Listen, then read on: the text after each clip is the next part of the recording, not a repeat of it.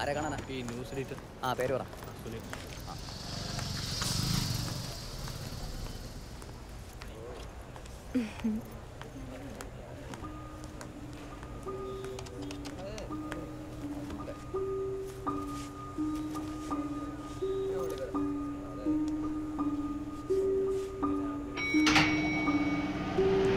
എടാ ഇന്നലത്തെ കളി ഉണ്ടായിരുന്ന രോഹിത് ശർമ്മയുടെ സീൻ ഇതാ ഞാൻ നേരത്തെ പറഞ്ഞ കുട്ടി. കബനി എടാ നോക്കില്ലേ? ഓ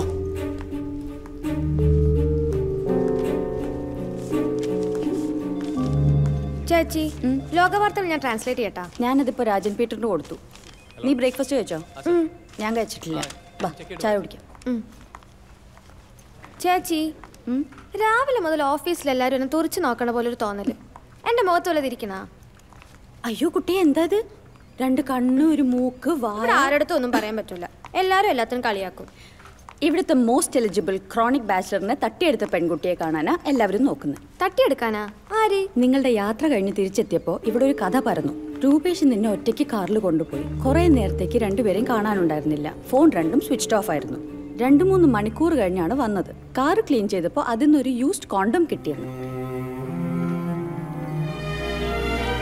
Kabini Kabini.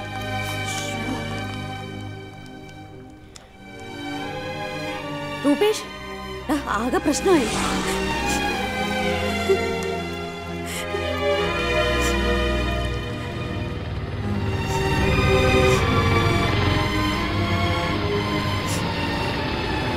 Thampanoor bus stand. Return തരണം. തിരിച്ച് കാലിയായിട്ട് വരേണ്ടി വരും.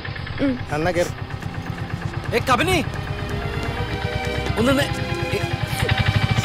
കബനി എന്തിനാ കരയണേ? പ്ലീസ് കരയല്ലേ കണ്ണുടച്ചേ ഏയ് കണ്ണുടക്കേ എനിക്ക് വീട്ടിൽ പോണം.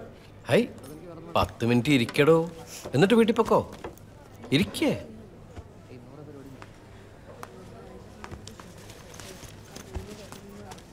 അന്ന് എന്താ സംഭവിച്ചതെന്ന് എനിക്കും തനിക്കും അന്ന് നമ്മുടെ കൂടെ വന്ന എല്ലാവർക്കും അറിയാം.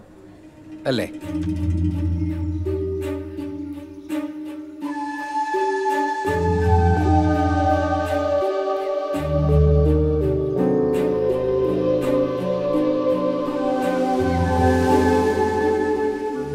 ലൈം ലൈറ്റിൽ നിൽക്കുന്നവരെ കുറിച്ച് ഗോസിപ്പ് ഉണ്ടാക്കി വിടുന്നത് ആൾക്കാരുടെ ഒരു ഹോബിയാണ്.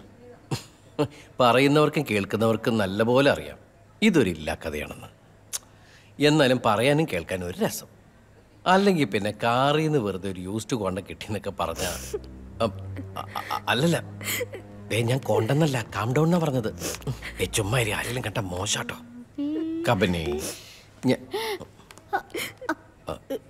രൂപേഷ് നമ്പ്യാരല്ലേ നാലാം മഠത്തിലെ? അതെ അതെ. അയ്യോ ചേട്ടാ ഇങ്ങനെ വന്നേ. ഇതാരാ നോക്കിക്കേ? അയ്യോ. ഹലോ.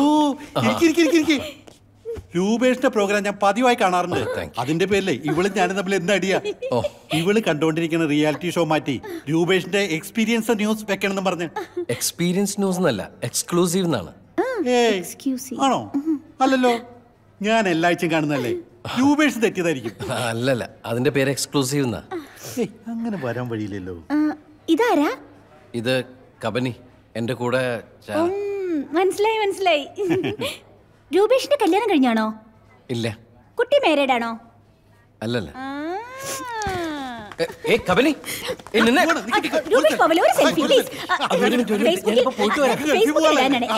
വിശ്വസിക്കില്ല.